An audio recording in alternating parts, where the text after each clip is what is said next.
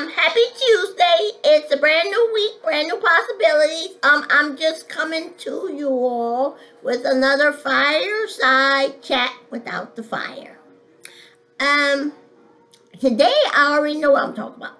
I want to talk about that uh, situation that they did with the little girl. They had to, uh, it was on the news. So you don't have to go to the comedy. You don't have to go to the Comedy Central, or you don't have to uh, watch the Comedy Channel or anything to get comedy. You can just watch the news. Always something going on in the news. But let me tell you what happened. The poor little girl, this happened in October. The little girl playing on the playground with her friends, and then some grown adult is instigating for the girl to get, for to telling these other little kids to beat the little girl up. Some grown woman instigating, telling them little kids to beat the, the little girl up. so the poor little girl, she got the poor little girl got beat up. She ended up in the hospital with head injuries and a broken arm. The thing that's funny that make this Comedy Central material is the fact that the anti-bullying people, the people that teach anti-bullying, they came in and that's why it's in the news because it was two days ago. They went ahead. Well, it was in the news yesterday. I think it was. Well, I guess that would have been two days ago because it's just after midnight on Tuesday and it was in the news on Sunday. But it doesn't matter. It was just a few days ago. That's why I'm uh, been uh, inclined to write this little to make this little video because uh, the anti-bullying people, the people that teach anti-bullying gave the girl a bravery award. They gave her an award and a reward. The award was for bravery. and of course, the reward was, you know, they replaced the skateboard and all that kind of stuff. But, um, you know, like, I'm just saying, I just think it's a good idea to give the girl some accolades. Go ahead, tell her she's been a good trooper, tell her she, she persevered well for, you know, all the treatment and the rehab and stuff that go along with the broken arm and all that kind of stuff. So she needs to get the accolades, and then they pump her up to, yeah, she's staying in good spirits. I mean, it's a whole lot of good stuff. But what you don't do is give the girl a certificate for bravery, for being courageous. You don't do that. Why? Because now the little girl, you know, first of all, she's 11 years old. She's on the playground doing all that. And then you got these people out here that don't know how to act and they beating up and stuff. And so now when she get beat up, is an adult. And see, that's why we like talk out two sides of our mouths in America. It seems like right now, as a child, when she get beat up, she get she get an award and a reward. And then when she become an adult, when she dating as a teenager, and when she become an adult, and they start smacking her around. they gonna want to hide her. You know, hide her and her kids if she got kids, you know, and all kind of thing. So no, no, no, that's not what you do. You go ahead, you give the girl the accolades and the kudos for all the good stuff she's doing and, and, and persevering and overcoming and being a trooper and all that. But then you also go ahead and you find somebody that's interested. You put out to put the word out. You use all their resources and, and, and stuff and find somebody that's willing to teach the girl. Give the girls some self-defense classes. And, you know, uh, don't have to be like a lifetime at this point. I mean, they just like, you know, a couple weeks, a month, you know, whatever they're willing to donate their time and get a little girl. And you can get a couple people do that. She gets some stuff from this martial artist, she gets some stuff from another martial artist or whatever, whatever. But teach the girl some self-defense. That's what you give the girl. You don't give her a certificate and tell her how brave she is just because the girl that the girl to beat up on the playground. I mean, you got teachers out here that go out here, they go to school, and they get paid to teach. And they don't want to get beat up. for teaching somebody something. So just because the little girl and taught the people that to, you know, be the campaign, the poster child for anti-bullying, that don't mean she should be get she should get awarded for it. So now what's gonna happen when she when she bigger and them them them teenagers and them grown men are beating on her when, when she get up to come up for air, she gonna be looking around for a award or a certificate because she got beat up. So no, I think you go ahead, you go ahead, let that girl get get get get the accolades and the kudos for you know perseverance through it all and being a trooper, and and but then also you teach her how to defend herself next time. And then that skateboard, they hit her with the skateboard. I guess they must have broke it or something. Anyway, she had to get a new one. So that was the award, the reward they gave her. You know, they replaced the skateboard. But you teach that girl how to weaponize. Weaponize that skateboard. Because when these kids come at you again, and they will, that's what kids they do. They they beat you up one time, they see you an easy target, and that, now you're their new mark. You're their new you're you're their new uh activity on the playground.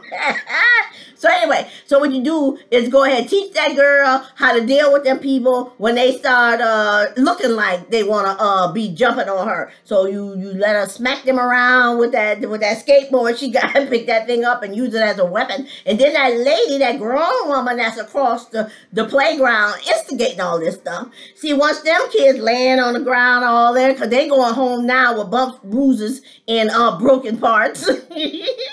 Then you just take that skateboard and you hurl it across the parking lot out of the playground at the grown woman that's out there instigating. Knock a, knock a few of her teeth out. So now she got to go to the dentist and pay big bills to get her mouth fixed. But that that's too. I mean, so that's what I'm saying. Just go ahead, teach the girl a lesson, let her learn to defend herself. Don't give her uh, kudos and, and certificates for getting beat up. Because like, like I said, them teachers don't even want to get beat up when they even went to school to teach and when they getting paid to teach. And you know, back on TikTok the other month, I guess it was like in October. It might have been soon. Where we at? November? Yeah, it was probably October time frame or so, or early November. That people had a, a challenge out on TikTok to slap a teacher.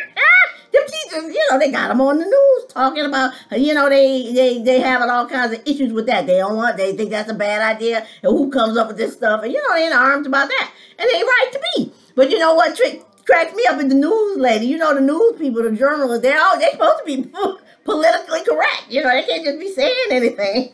But one of the black journalists, she was on there, she was like, I think if they She said, I think if they slap a teacher, I think you should get to slap them back. and I agree with her. If they slap you, you should be able to slap them back. In fact, you should give them a backhand and a front hand.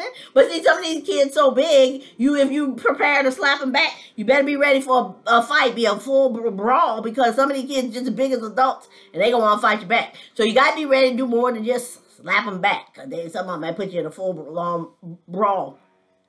But anyway, so that's enough about that. But you know that that situation with the child, with the playground girl, what they need to do, like back in the day, they used to have these these dunce caps that they used to put on kids when they in classroom and don't know how to. They had a dunce corner, a dunce cap, and then they sat on a big tall stool. So what they need to do with them kids that beat that little girl up, they need to put a dunce cap on them. And so as long as she got to walk around with that cast on her arm, they got to walk around with the dunce cap.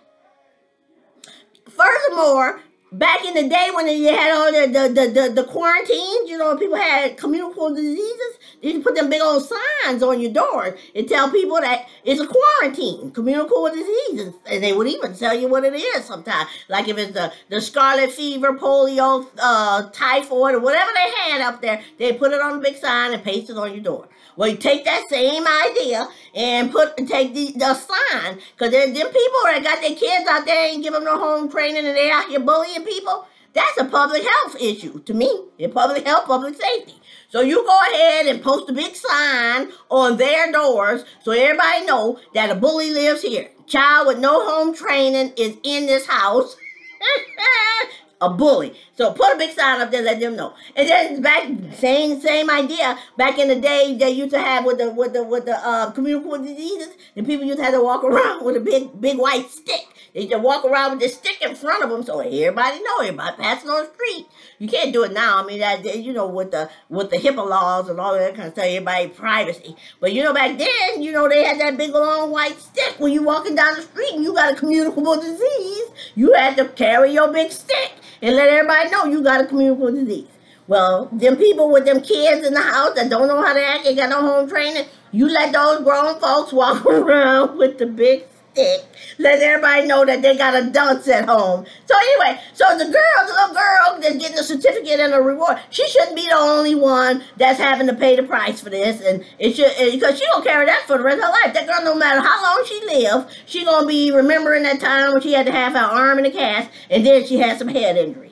And then again, like I say, they got all this anti-domestic violence stuff that they had on TV, uh, not on TV, but the whole month celebrating domestic violence month. And now what we doing is rewarding the kids on the playground for uh for for allowing them for for getting beat up. I, I know and doing nothing for them, not teaching them how to defend themselves the next time. So what you do is next time you get beat up, you're looking for another award and a reward. So no, that's the wrong idea. I just said what I had to say. Just let them kids learn how to defend themselves, and then the ones that's doing all the bad stuff, go ahead and put a dunce cap on them. And then the other thing is the Arbery, by Arbery, how that man name go? Ahmaud Arbery. that man name go. But anyway, on my Arbery case, once again, you got some more comedy there. Because the man, the, the I think his name was McMichael, he was the one trying to defend his actions, defend the defense, indefensible, defend the indefensible. The man up there talking say, yeah, his, his lessons in the Coast Guard. He was a Coast Guard, apparently, former Coast Guard person. And he learned in the Coast Guard that displaying a weapon can uh, de-escalate a situation and bring people into compliance. Now, you know that to me, that's apples and oranges. If you see somebody in a uniform, somebody of authority, coming towards you with a weapon, most likely, yes, you are. You know, that's just right, pretty much uh, the way we're wired. You know, you're you're taught to uh, um, comply. You know, at least let's see what the man has to say. Because, you know, he's in a uniform and hopefully, now you at a disadvantage and you got hoodwinked if the man need, means something nefarious. Then you got caught up because the uniform and the stuff caught you off guard. And some people have gotten caught off like that. People walking around with them sirens on their cars, pulling the women over, and then next thing you know, you got a situation. But yes, a lot of times when you see the uniform or some form of authority and you see even with, they, with the weapons, holstered or in their hand or whatever, you're feeling okay because they're that person of authority. So what does that have to do when you run around, run around in your civilian clothes, coming up to somebody with a with a weapon in your hand, and then you expect them to comply? You know that is just basic biology. When you somebody coming toward you, you don't know you, you don't know their intentions, and they got a weapon in their hand. Basic biology says fight or flight. So that computer in your head is going to quickly make you discern, determine whether this is the time to run for your life or whether you ain't got time to run. You got to stand up, stand your ground and fight for your life. So either way, so why did man coming up with this Coast Guard uh, comparison and stuff like that to me? And to me, it's just like apples and oranges. You can't compare the two. See, that's that. That's why he Coast Guard. He got that Mickey Mouse. he got that Mickey Mouse rationale. Anyway. Anyway, that's all I had to say. What time you? That's 12 minutes. I got to say everything I was going to say. Uh, but I guess maybe what, should I come up with something else to talk about? We got the holidays coming up. I don't know. Uh, I think I, I was gonna come on probably around the holiday. I was gonna have a uh maybe have a meal on on video for for Thanksgiving, but uh so it don't have to always be 20 minutes. I think this is a short one. I had 13 minutes, and I just wanted to say that. What about the little girl? Because I think we doing the wrong thing by by getting these little girls and teaching them, um, um, you know, to to accept uh, violence. If you if, if it's a lesson learned, if people gonna learn the lesson at your expense, well, it's all well and good. Here's your reward. Here's your reward. Don't do them that. Don't do them like that at all. But anyway, um. Let's see what else I could talk about. Come up Let's see what I was talking about. The, oh, well, I was thinking about lessons for children and all that other kind of stuff when you teach your kids. I think uh, food, clothing, and shelter. Oh, that's what I was thinking about too. I was, I was like, you know, I'm not hoping my kids have any grandkids at all anytime soon, especially. But until they figure out their lives and what went down and how to compensate for their tragedy in their young lives. I really hope that they don't go out having kids. But if they do have kids, my advice, because you didn't get your, you weren't able to get guided and counseled and molded by the two people that brought you into this world. So the, maybe the best I can do is try and maybe share some of my uh, knowledge or what I would have think is a good idea for raising kids and stuff like that. Because what I do believe is a lot of people, I think Reggie got food, clothing, and shelter, basically. And, uh, and the small town USA mentality, something went awry with that because the mom and them wasn't giving him good counsel. But Reggie came up and he came out all right. Like I say, he was a good mold, and all he had to do was leave his mama's ideas behind and and cleave to his wife if he decided to take on a wife, and he did. First of all, he never should have took on a wife. He should have just went on by his business and figured out what he was gonna do and figured out who he was and, and what kind of Mickey Mouse uh, cereal eating. somebody that he wanted, well, uh, you know, before messing with somebody who had already had a plan for her, her life and her existence and all that kind of stuff. But I don't know why I was talking about that, but I was talking, oh, I was talking about when you're raising your kids. You do more than food, clothes, and shelter. You got to put stuff in these kids. You have to give them tools. You have to give them tools to use on the playground when he people coming up against them and they don't know how to act. You got to give them words to say. You got to give them values and things that need to be instilled in them. Because if you don't, because people, humans, we're at, we're we're we're living organisms. We're always in a state of change. And so if you don't put something in those kids, somebody else will they gonna be getting other stuff that they can get from elsewhere. So you you need to fill those kids up with ideas and, and, and beliefs and values and stuff like that. So when they grow up and they go out and they're outside of your you know your little circle of protection, they know how to protect themselves um, um, just not just in uh, physical protection, but also uh, mentally and, and being mentally strong and um, psychologically strong and stuff like that. Because these people will put you to test. And so um, that's why you go ahead and you give your kids counsel when they're growing up and while they're underneath your roof so that they can have ideas about how they want to deal with situations and stuff like that. And the other thing they got going on now is all this stuff they got talking about in the court about that, uh, what they call it, Roe versus Wade. You could, girls, if y'all ain't paying attention, y'all better, because sometimes these kids grow up and they they make a mistake, they say, oops, then they can go and have that abortion down the road. But then they take that away. A lot of these kids, they're going to go out here have these babies that they wasn't planning on having, not wanting to have, and then they go back to the old days where some of these kids gonna go out here and have these illegal um um things, these illegal abortions, stuff like that. But anyway, the thing to do is go ahead and put yourself in a position and not let Hollywood uh not let Hollywood school you. That's why I'm talking about the stuff that you put in. Because if the parents aren't putting stuff in these kids to teach them about what they should do, how they should do, what you expect of them in certain situations, they're gonna get their clue. They're gonna get their clues from Hollywood. All this stuff that you see on TV. You know, these kids watch these 30 minute shows, these one hour shows, and I'm telling you, when I was growing up watching TV, TV was a little more wholesome. Well, I'm not gonna say a little more, it's a lot more wholesome than it is now. I mean, you don't want to watch the Flintstones and the Jetsons and Lucy and all that. When you saw the bedrooms they had two beds in those rooms. There was two beds. You ain't see one big, one queen size bed or full size bed or whatever, and people sleeping in bed. When you watch, when these kids watching TV today, they see everything. They they hardly leave anything out about the the making out and the kissing and all the sex and all this other kind of stuff. And to, and what the kids don't realize, if the parents aren't telling them, if is that Hollywood. Those actors and actresses acting and acting those actors and actresses acting. They're doing their job. It's not real. When the director says cut, they cut. And then they go have a coke and a smile. But see, you all watching this TV, you young kids, you teenagers, you 20-somethings, 30-somethings, free, single, disengaged, you out here watching this stuff and you think that that's your job. That you supposed to, you out here dating and you supposed to be responsible for keeping him happy, satisfying his libido and stuff. It ain't that way. That's dating. That's what the dating process is all about in the first place. Dating is when you go out here and get to know the type of person, how you going to be with a gentleman, how a gentleman's going to be with you, what kind of man you want to be with, what kind of attitude, what kind of expressions, what you want from people that you are spending your time with. That's what dating is all about. It's not all about uh, who else you seeing. Want to go through his phone and find out who he's, who else he's texting and what he's saying to that person. That's not dating.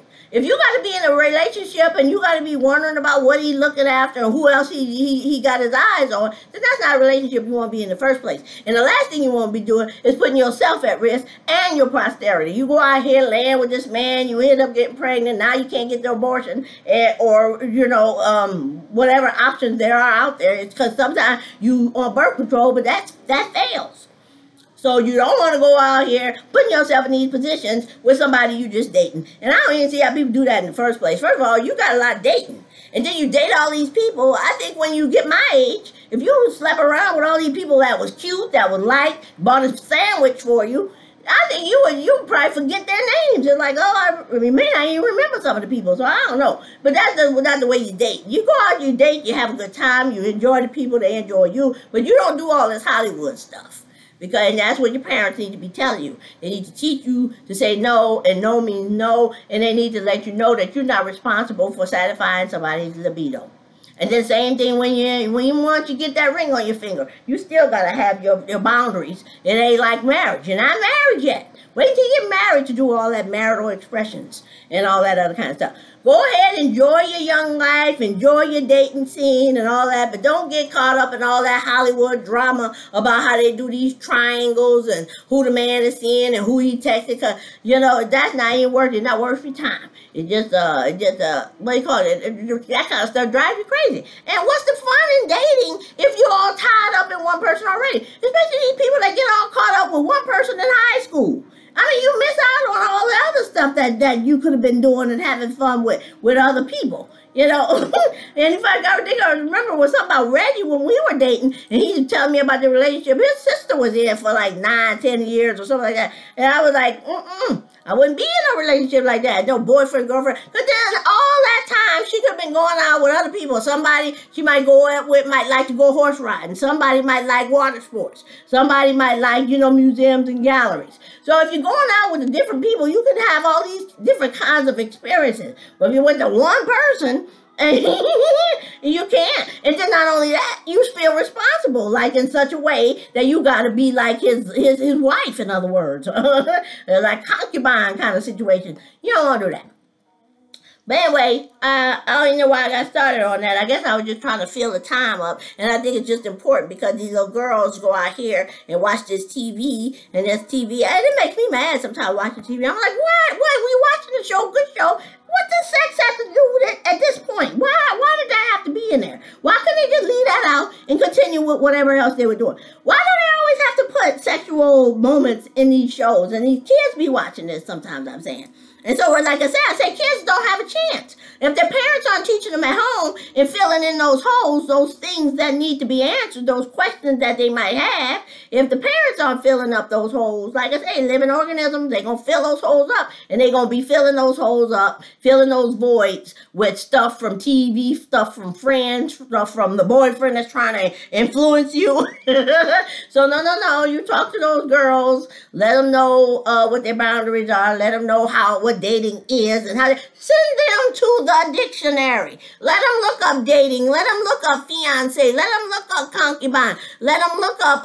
let them look up wife. Let them look up whore. Let them look up uh what the other word uh call girl. Let them look up prostitute. Learn the differences between these things. No, they all got meaning. Don't just use these words, throwing them out there like these people giving this girl this award for being curt, being brave. uh, was it brave or courageous? It was something. Either one, one of them. But that's not the type of award you need to give, girl. That's not the type of certificate you need to get a girl. Use the correct terminology to express what you're trying to express for this girl, because she does not have a responsibility to put herself and get beat up uh, to teach somebody a lesson or to be some anti uh, anti-bullying campaign theme. Uh-uh. Don't do it. It happened. It's unfortunate, so go ahead and give her the tools so she don't have to deal with that again. That don't that that's gonna be in the past, and then people come at her again, they're gonna have a surprise. They're gonna be the ones going home with both bruises and broken pieces, not her. Anyway, we'll make the 20 minutes. I'm going to turn it off because, uh, like I say, don't want to make these long. Bye.